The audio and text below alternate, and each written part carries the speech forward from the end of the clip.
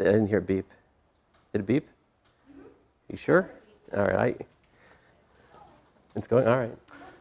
I, well, I just didn't hear the beep, and there's like not too many people in here, so I don't know. Look. oh, oh, okay. Well, if Isaac says so. All right. I'll, be, I'll begin with a prayer. Dear Father, we thank you uh, for this day. I just thank you for this time we have just to uh, look at this technology assessment assignment and uh, just hope that uh, we'd uh, all gain understanding through this time learning. In name I pray. Amen. All right, I will quickly give you a little mini lecture on it. So basically, the problem is this.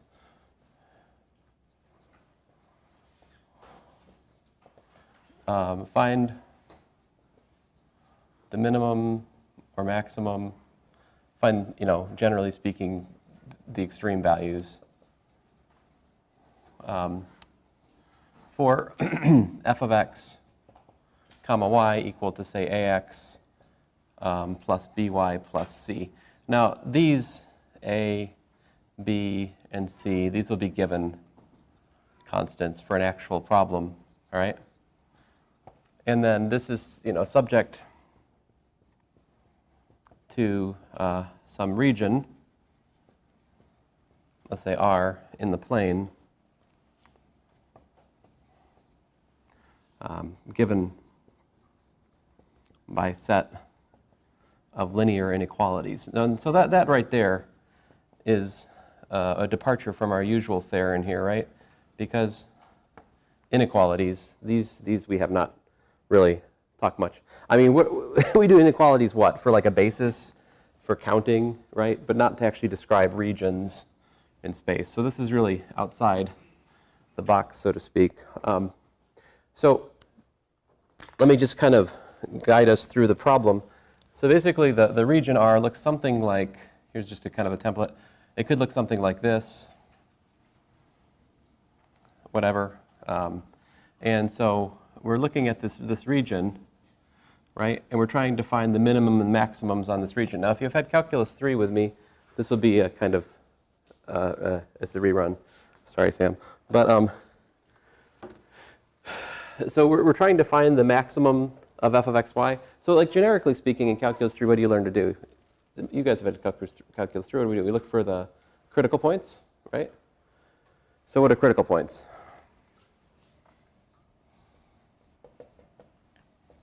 Critical points are where the gradient of f is 0, right? So if you look at the gradient of f being 0, what's that? right. So the gradient gradient of f, which is, by the way, for those of you who we have a, we have some students in here who haven't had Calc 3, right? So just as a service to them, that's partial f, partial x, partial f, partial y. And when you calculate those partial derivatives, we just get a comma b here, right? So if a and b are both non-zero, right? If a and b are both non-zero, then that's never zero, right? So then um, the gradient of f is just simply not equal to zero. So no critical points. Now, we've all had calculus 1, so we all understand the idea of a local extreme value, right? Um, and so the point is there are no local extreme values. So remember in calculus 1, what did we do? We looked at like the closed interval test, right? And so the closed interval test said that if there is a minimum maximum for a continuous function, it has to happen where? Either at a critical point between the endpoints, right? Or at one of the endpoints. And um, so if there is no critical point, all you got to do is check the endpoints. And uh, long story short, that's the conclusion we're led to here as well. See, because if you look at all that's left then, there's no, there's, there's no interior max or min place where there could be max or min, right? So that just leaves us with, with the edge of this, right? And so you just got to think about the edge, right? Let's say I'll, I'll make it green. But then if you think about the edge, you can divide and conquer, right? Like focus in on a particular line segment. What's the, what's the deal there? If I just focus in on this line segment, and so if we focus in on this line segment, right, you could find a parameterization of this. Say um, r of t is x of t, y of t, right? And if you look at that, if we look at f um, of r of t, that would be the restriction of the function to that line segment, right? That's going to be, you know, more specifically f of x of t, y of t, right? So let's just say that that's g of t. It's a continuous continuous function, right? If, if f is continuous, uh, that's a continuous function. And so we can go back and use calculus 1 on it, right? To find out the min and max on that line segment. and if, if you look at that, huh, it's random. Um, if you look at that, and of course we can choose the parameterization, right? We could, we could without loss of generality, suppose 0 is less than or, x, less than or equal to t, less than or equal to 1. Right, you could parameterize that using a parameter going from 0 to 1. If you had calculus 3, you're well aware of this fact. Um, but long story short, closed interval test for g, right? Closed interval test on 0, 1 for g of t says what? You should look for 1 for g prime of t equals to 0, and 2, and you, then you should check g of, of, you know, let's say g prime of c for critical point. You should check g of c equals to whatever, right? You should check g of 0. You should check and, and g of 1, whatever those values are, right? And then, of course, 3, you select uh, winner. Well, you select min max from these three things, right? From, from, from these values, 1, let me call them 1, 2, and 3. But what's the deal again?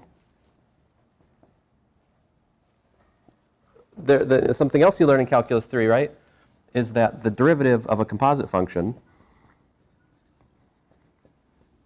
is equal to the gradient of f at the inside function dotted with the velocity. All right? So supposing that we use a parameterization which is nonstop, which is, which is something we can do for a line segment for sure, that dr dt is non-zero. And how about the gradient of f? Well, we just, we just explained that the gradient of f is everywhere constant and not zero, so that's not zero. So what's this say about the line segment? Is there any way we could have a maximum in the middle of the line segment, given such a function? only if g is constant on line segment, but that, if g is, oh, right, right, right. This is the thing I, I should have learned from Calculus 3, but it's a lesson I'm still learning. So yeah, if we were so unfortunate that g was constant on the line segment, you're right, then we would, we would find that the value of g was the same at 1, 2, and 3. So without loss of generality, we can ignore that case, right? Which is why it doesn't hurt me when I forget about it, but thank you for that. Um, Sam keeps me honest. It's good.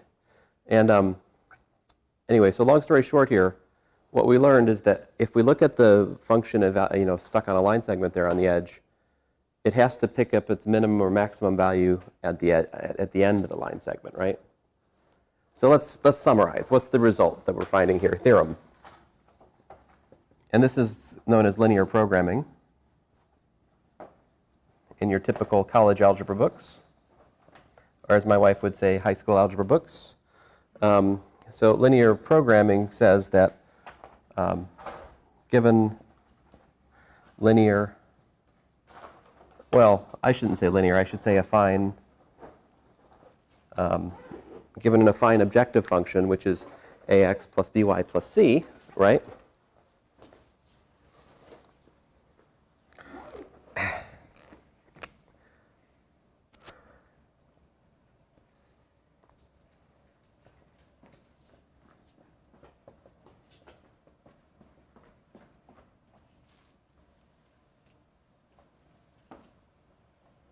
Hmm.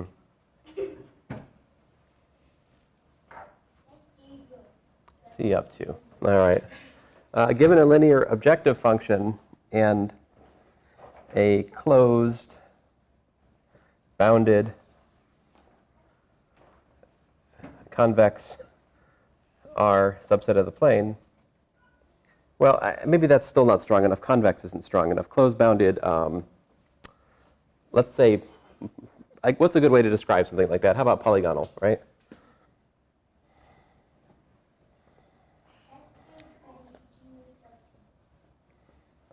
We can um, obtain all the extrema of the objective function at corner points, or if you like, vertices of R. So this pretty much gives us an algorithm for minimizing and maximizing a linear objective function subject to something that's like a polygonal region in the plane, right? All you have to do is understand what the polygonal region looks like, find the corner points, and evaluate at those corner points. You look at the list and you select a winner and loser. That's all there is to it doesn't have to be convex. Uh, I think convex is. I'm not. I'm a little worried about. Is convex? I'm, I'm a little bit rusty on what, what's possible in the world of convex regions, so I don't want to say that. It's probably true, but um, what, what's the what's the um, what's the definition of convex? Is the thing that doesn't come right in my. What, how do we define convex? Right. Well, there doesn't exist any um, line segments with endpoints in the shape um, such that there exist points on the line segment outside of the shape. Ah, right. So with that definition, that line segments between points in the space, between points in the in the space have to stay in the space. Definitely, we can do things that are not like that because we can do things that are like star shaped, like this. Yeah, this this this. If you have a linear objective function, it's awful, but you could still just check this point, this point, this point, this point, this point, this point, this point, this point, this point, this point, this point, this point, this point, and this point, and take your values, take those, however many values those are, and pick a min or max. Oh, well, let's, let's look at a let's look at a specific example. So I just want to give you guys a brief run through of the general theorem because it's you know it's not that hard to understand. Admittedly, the details here are really calculus three. What? What? Oh, it's a star. Okay. Are you sure? Okay. um, let's see here. So how about how about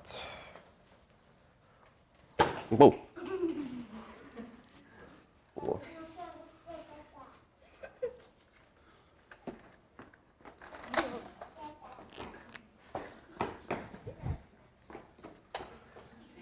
Let's look at f of x comma y equal to 2x minus 3y plus um, 4.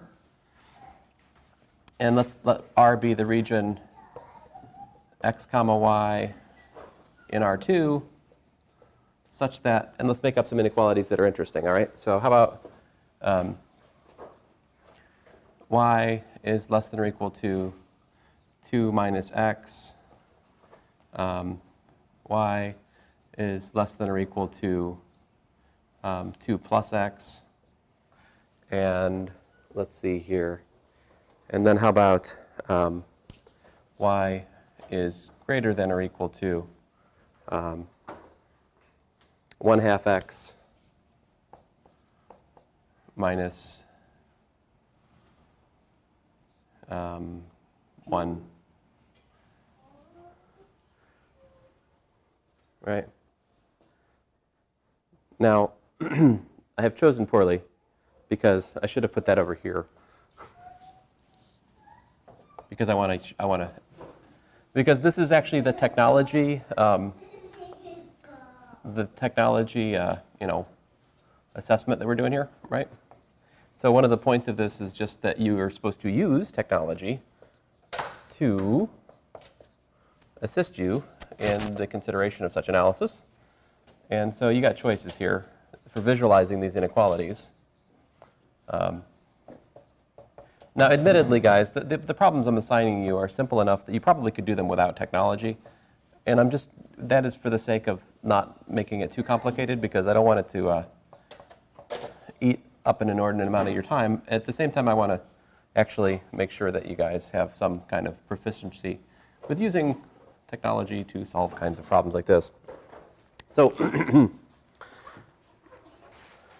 how would you, could you guys do this in Mathematica? Do you know how to do inequalities in Mathematica? Good, I'll leave that to you. I will show you how to do it with Wolfram Alpha, um, which is Mathematica, right? But, yeah. Mathematica without all the awkward licensing issues, right? Woohoo! Hello, Daniel. Are you going to shoot them or just me? Guys, where you see a ro- shoot a robot? Shoot a robot. What? That's the robot. I'm starting to question my decision to bring them here today. Let's hear. It started out. It started out with Isaac, and then Matthew's like, "Can I go?" And then Daniel's like, "Daniel, stop. Move. You have to move. I'm working here. Out, out, out. Don't bump your head. Careful." Let's see here.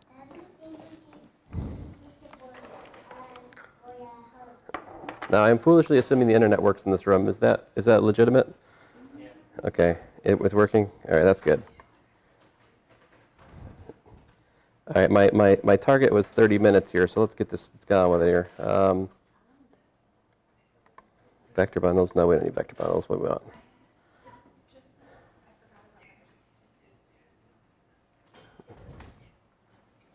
Uh, there, there are actually two, two good options here. One is Wolfram Alpha.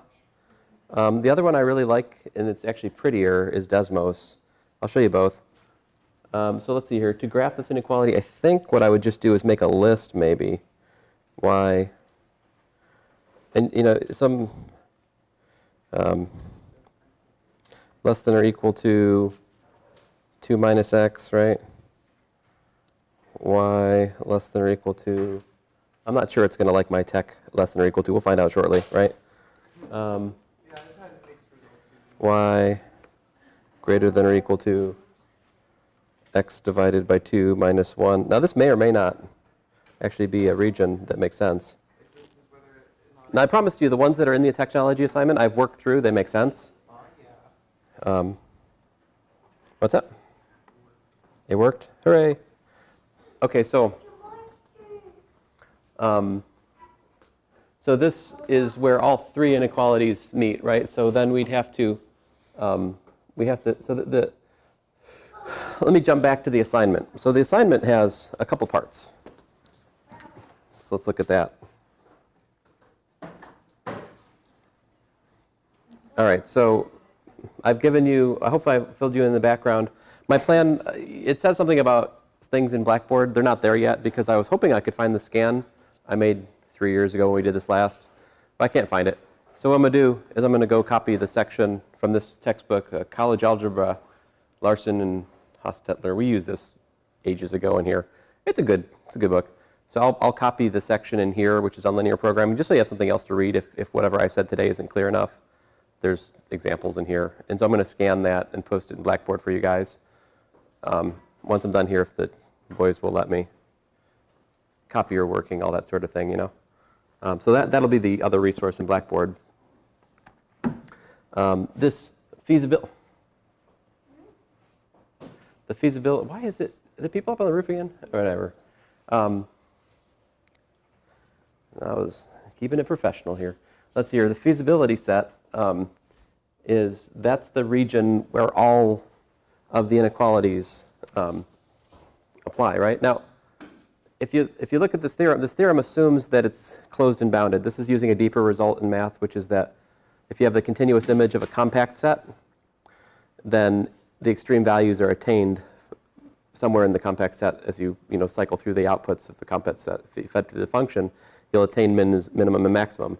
If, your if your domain is not compact, there's no guarantee that you'll actually reach a minimum or maximum. So, you know, this theorem has limitation in terms of the domain. If the domain's not compact, if it's open-ended, one way or the other, you may have a minimum and maximum. You might have just one or not the other. There's no, there's really no guarantee. So if we're given a bunch of inequalities that are basically like you know, saying on which side of a given line you have to be, would, it seems like we wouldn't be able to end up with concave um, regions like stars like that, right? Like what what system of inequalities? Yeah, um, but you could say inside. I mean, it, the question is what you mean by inside, you know? So I don't know. You could use words like inside and outside, and uh, Satisfy all the of a bunch of different lines. and Just kind of get up into I'm not. Yeah, I'm not. I'm not certain I could actually come up with that star with a set of inequalities like this, but I am certain that the analysis I went through today would equally well to apply to a star. Yeah. Right. So there, for the two problems which are on the next page, there are four steps. The exploratory phase, you're supposed to graph the feasibility set using an appropriate mathematical graphing software like Wolfram Alpha or Desmos or Mathematica. You should then make a print out of that. Okay. That's part one, part A. Um, either part 1A or part 1B, depending on which one you're looking at. There's a 1 and a 2 on the next page. Then, precision phase, you're supposed to find the explicit coordinates of each corner of the feasibility set. Um, now, you can, you can do, do that from the graph, right? Um, but I do want three significant digits. So, like, how do you find three significant digits of the corner? So, part B, I, I would, I would say, um, doesn't actually have to have a graph in part B. I mean, it might make sense to have a graph for part B. It might not. Depends on how you think about it. Um, but going back to my here, so like here, if you, I don't know, I forget how, does it let us, oh, you, you, you go pro, stupid thing. All right, so let's forget this for a second here. www. I like this one actually, Desmos. Um, dot com. Start graphing, yes, please. And this will also do inequalities. Uh, y less than or equal to 2 minus x. Oh, I I forget the, the syntax here. It may just, it's probably just like less, oops, equal. There we go. There's that one. And this one, y less than equal to 2 plus x, like that. And y greater than, it's, it's going to blow. What, what's, what's happening here? You're going to do. Uh, minus 1. And then if you, if I don't know if you can combine this or not. I'm not, I'm, I know you, we can play with that later, right? But um, you could, you could, you know, you can change the coloring and stuff, and you could, you can explain, well, where all three regions overlap is the middle. You know, that's another way you could come to the feasibility set if you didn't want to use Wolfram Alpha. Uh, and that, I mean, there are other, other various advantages here, like I don't have to go pro, and I can do. Hey, don't shoot my computer. Um, as you can see, I can find this corner point of the feasibility set to arbitrary precision. It's 2, 0.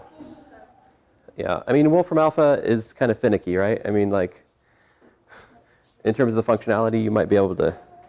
I mean, I refuse to pay money for it, right? So, um, so th- this one might be more conductive to finding corner points if they're nice, right?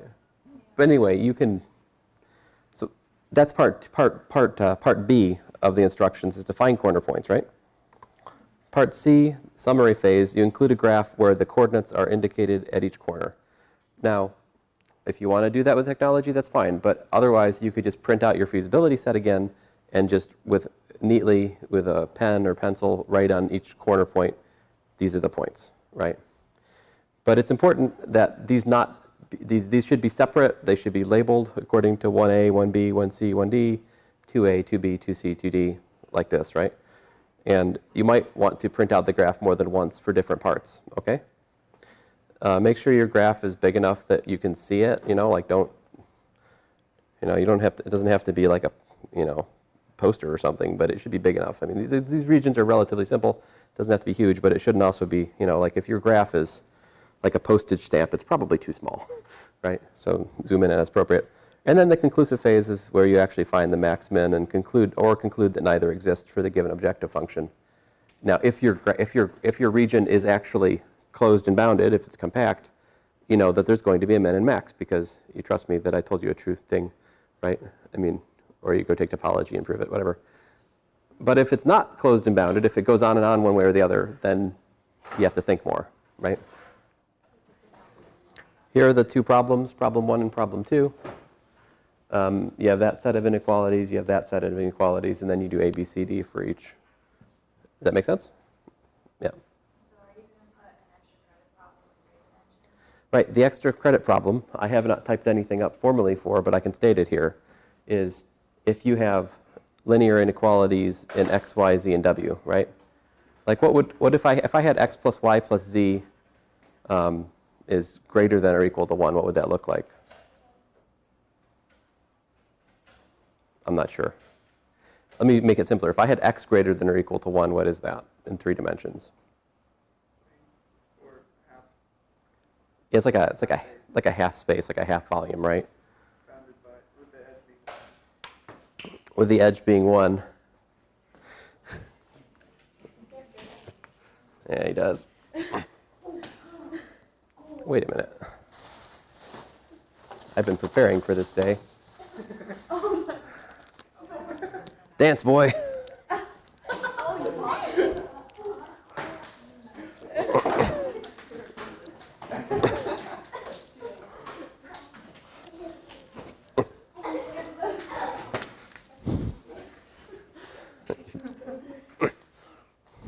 Oh man, he caught it.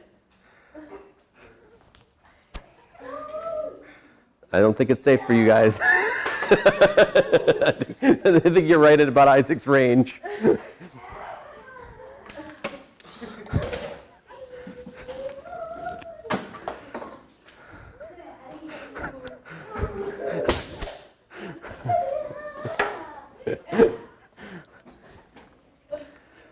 All right. Uh oh. Ah! Get it. Get it. Go ahead and get it.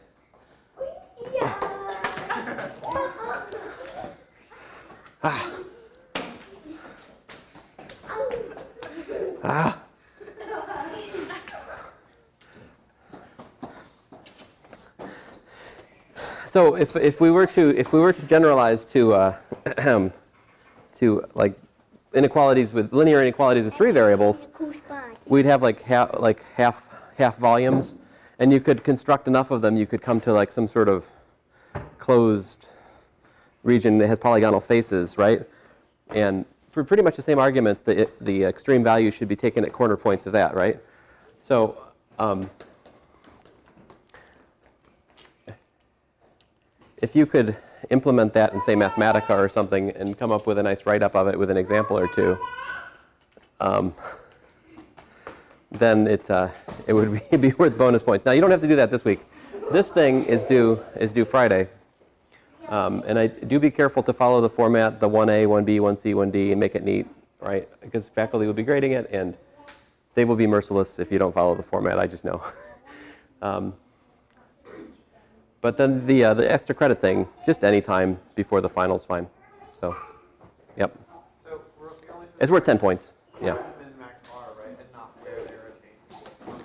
Oh yes, I, I mean, uh, so you need you, you should find two things. You should find where the minimums and maximums happen, and also the actual values, right? So actually find the actual values. You have to plug in the corner points of the feasibility region back into the function and obtain them, right? And you should make a clear, clear distinction between these two things, right? So.